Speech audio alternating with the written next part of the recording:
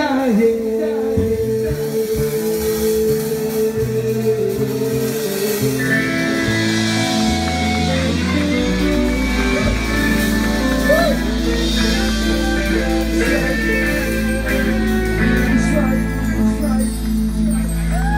You on, these guys, huh? Jim Johnson.